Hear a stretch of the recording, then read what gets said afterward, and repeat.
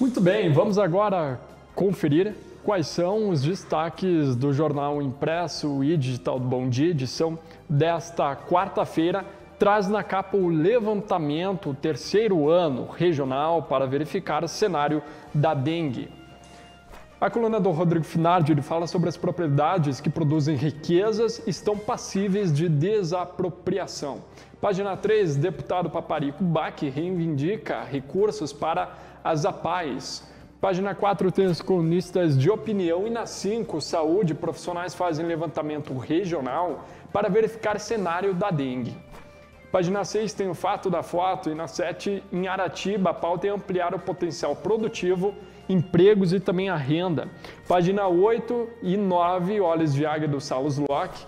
E na página 10, Sinal Agro ajuda a registrar e recuperar animais e maquinários agrícolas furtados ou roubados. Na página 11, alerta para a falta de recursos no setor agropecuário no Alto Uruguai. Página 12, em Educação, atletas com deficiência que estudam na URI falam sobre esporte e inclusão.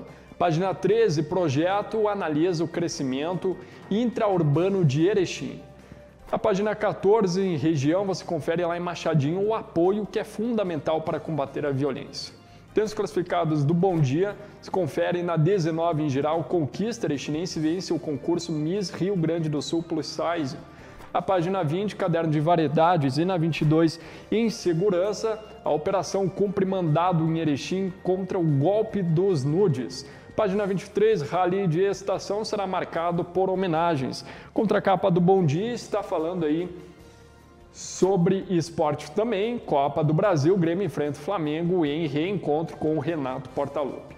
Outras informações podem ser conferidas no site do Jornal Bom Dia, www.jornalbomdia.com.br.